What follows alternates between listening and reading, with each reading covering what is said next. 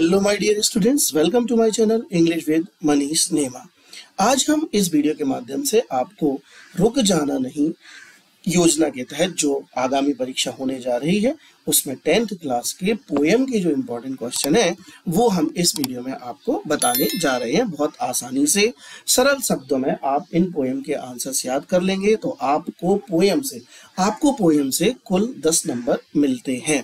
Poem पढ़ने से केवल आपको दस नंबर मिलते हैं, तीन नंबर का एक्सट्रैक्ट आता है, दो दो नंबर के आपको दो प्रश्न आते हैं और एक तीन नंबर का सेंट्रल आइडिया भी आता है।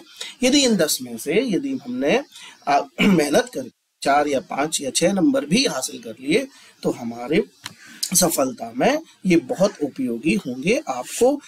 पचहत्तर नंबर का इंग्लिश का पेपर आना है सेवेंटी फाइव का, और आपको उसमें ट्वेंटी फाइव मार्क्स बस पास होने के लिए चाहिए। इसलिए हमें हर जगह से मार्क्स को चुराना है और लेना है। लेना है, चुराना नहीं है सॉरी चलिए तो सबसे पहले हम बात करते हैं कि आपकी टेंथ क्लास की जो पोएम है, वो कौन सी है? पोएम के नाम और पोएट के नाम याद करने से आपको दो नंबर निश्चित रूप से मिलेंगे। क्योंकि जो एक्सट्रैक्ट आएगा तो उस एक्सट्रैक्ट में यानी जो लाइनें आएँगी, कविता कविताओं की, उसमें दो क्वेश्चन ज़रूर पूछे जाते हैं कि बताइए पोएम का नाम क्या है और उस पोएम को लिखने वाले पोएट का नाम क्या है। तो आप ये स्क्रीनशॉट ले लीजिए, इसे कागज़ में लिखकर दीवार पर चिपका लीजिए और रोज आपको इन पोएम के नाम और कवि के नाम याद करने हैं ताकि आप सहजता से इन्हें परीक्षा में लिख पाए और दो नंबर आप शेक्योर कर पाए। तो मैं आपको जल्दी से बता दूँ, आपको नौ कविताएँ पढ़ने के लिए दी हैं। हैप्पी बर्थडे और पहली कविता का नाम है डस्ट ऑफ़ स्नो जिसे रॉबर्ट फ्रॉस्ट ने लिखा है। बड़ी छोटी कविता है। Fire and ice Robert Frost ने लिखा है। ये दोनों कविताएँ रॉबर्ट फ्रॉस्ट के द्वारा ही लिखी गई हैं। मैं आपको बता दूँ कि रुक जाना नहीं योजना में। संभावित जो पोएट्री है, जिसका एक्सट्रैक्ट आने की संभावना है, वो डस्ट ऑफ़ स्नो या फायर एंड आइस से ही पूछा जा सकता है। इसलिए इनको तो आप बहुत अच्छे से याद रखें। Dust of snow Robert Frost और fire and ice Robert Frost ने लिखी है।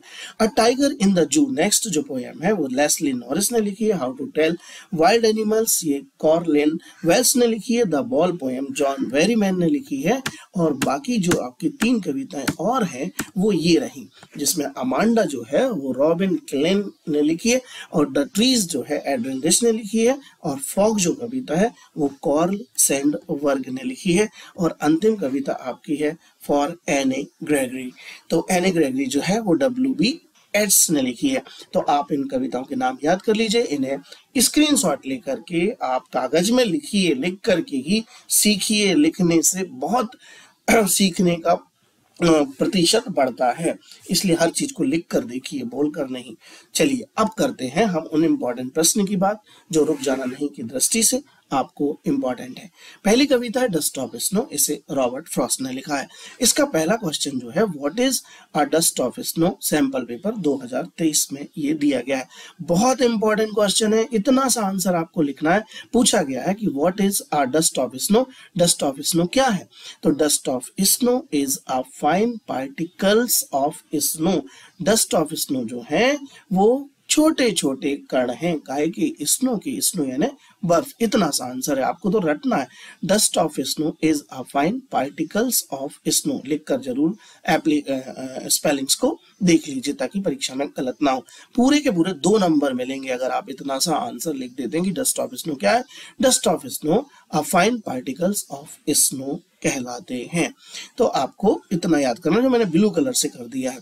ये तो आपको क्वेश्चन में ही मिल जाएगा सब कुछ। What change the mood of the poet कौन सी चीज़ पोएट का मूड चेंज करती है? तो क्या है पोएट का पोएम का नाम ही डस्ट ऑफ़ स्नो तो द डस्ट ऑफ़ स्नो और यहाँ से उठा करके change the mood of the poet जो कहते हो लिख देना फुल स्टॉप भी लगा देना, यहाँ नहीं लगा है। क्षमा चाहता हूँ। चलिए what is a hemlock tree hemlock tree क्या है? Hemlock tree is a poisonous tree hemlock tree जो है, वो एक जहरीला पेड़ है। What does hemlock tree represent और हेमलॉक ट्री क्या रिप्रेजेंट करता है? ये 2024 में पूछा गया प्रश्न है। अभी हाल की ही आपने जो परीक्षा दी थी। हेमलॉक ट्री रिप्रेजेंट्स ये तो आपका काय से आ गया? ये पूरा क्वेश्चन से आ गया। क्या लिखना है? केवल आपको एक स्पेलिंग लिख देना है sorrow S O double R O W sorrow मतलब दुख को प्रदर्शित करता है। आपकी दूसरी कविता है फायर एंड आइज़ जिसे रॉबर्ट फ्रॉस्ट ने लिखा है। What do fire and ice stand for ये बहुत ही इंपॉर्टेंट क्वेश्चन है। Fire stand for desire desire यानी इच्छा। फायर जो है, वो डिज़ायर यानी इच्छाओं को बताता है। And ice stand for hatred और जो आइस है वो हेटर यानी नफरत को बताती है। What do you what do you mean by perish do you mean by perish perish means to die perish का अर्थ होता है मर जाना। ठीक है, इतना ही आपको याद करना जो मैं आपको बता रहा हूँ।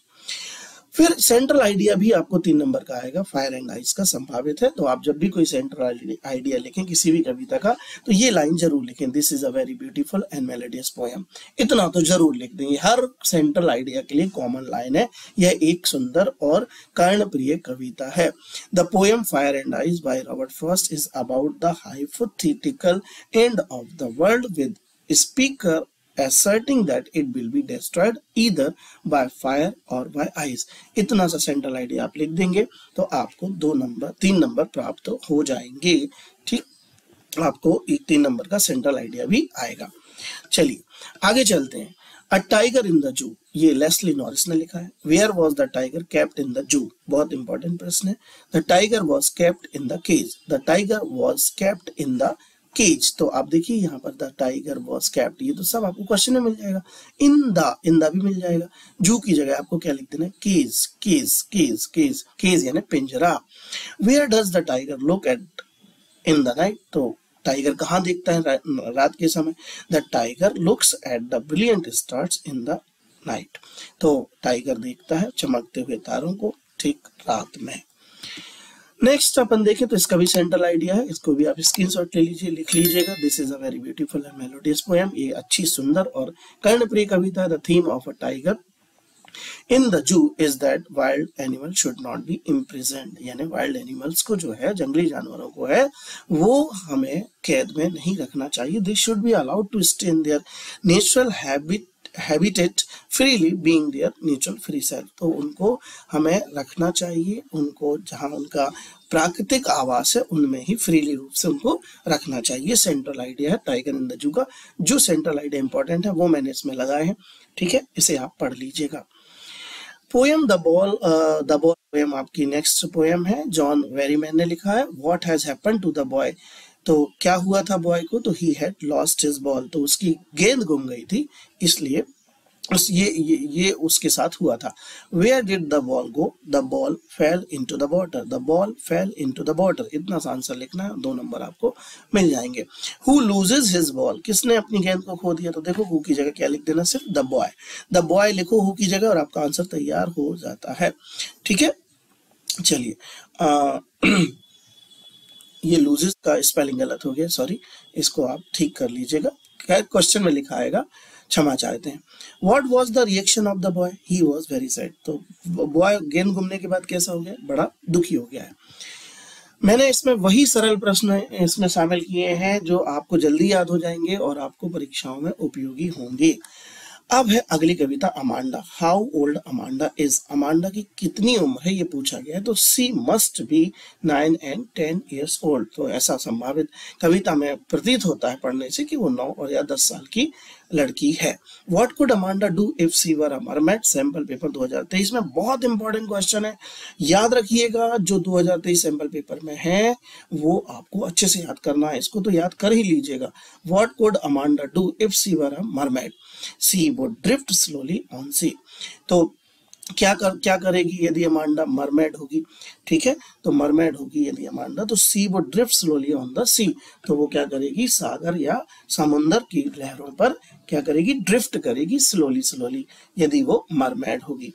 तो क्वेश्चन नंबर तीन है is Amanda an orphan why does she so she says so Amanda क्या ऑर्फन है? अनाथ है? 2022 में पूछा। गया प्रश्न और पूछा गया है, ऐसा वो क्यों कहती है?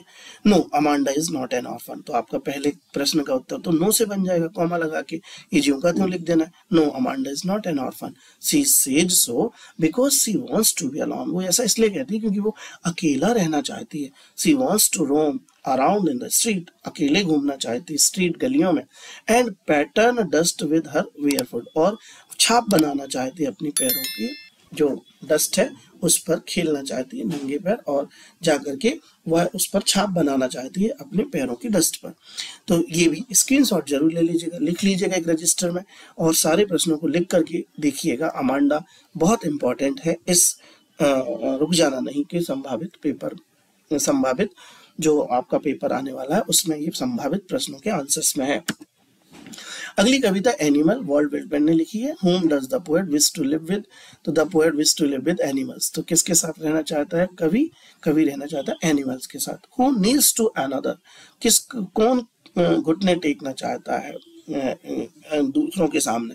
तो मैन नील्स टू अनदर यानी इंसान जो है, वो आदमी जो है, वो घुटने टेक देता है दूसरों के सामने. चलिए, अगली कविता the trees where are the trees the trees are in the poet's house कहाँ पर है ट्रीज ट्रीज हैं पोएट के घर में। ट्रीज कविता को लिखा है एड्रिन रिच ने। ज़रूर याद कर लें पोएट के नाम और पोएम के नाम। Where are the trees moving out तो कहाँ जा रहे हैं पेड़? ये हमसे पूछा गया। The trees are moving out to the forest तो कहाँ बढ़ रहे हैं वो? वो फॉरेस्ट में जंगल की तरफ़ बढ़ रहे हैं। ट्रीज कहाँ बढ़ रहे हैं? जंगल की ओर बढ़ रहे हैं। अगली कविता आप देखेंगे, फॉग है, कार्ल सेनबर्ग ने लिखा है। How does the fog come 2024 में आया था ये प्रश्न। The fog comes on the little cat feet fog आता है ठीक बिल्ली के पैरों पर। What does Sandburg think the fog is like Sandburg fog को किस तरह बताते हैं? The fog is like little cat और वो कहते हैं कि जो फॉग है, वो लिटिल कैट की तरह है। इस तरह से हमें इतनी कविता याद करनी है, फॉग पर कविता, इसके बाद एक कविता और है, लेकिन वो इतना इम्पोर्टेंट नहीं है। तो आप इन कविताओं के जो मैंने बताए हैं, ये 20 प्रश्न है 20 क्वेश्चन है, आप याद कर लीजिएगा। और अगले वीडियो में संभावित कोशिश करूँगा कि आपको जो दो दो नंबर के छह प्रश्न आने हैं, प्रोज से, उनका वीडियो जल्दी लाऊँगा। और केवल ट्वेंटी प्रश्न जो क्वेश्चन है, मैं आपको दूँगा, उनको पढ़िएगा, बहुत सरल आंसर्स हैं। अगर कोई आपको परेशानी होती है तो मुझे व्हाट्सएप करिएगा, मुझसे आप बात भी कर सकते हैं। इसके कोई फ़ीस चार्जेस नहीं है, ये निःशुल्क है मेरी क्लासेस थैंक यू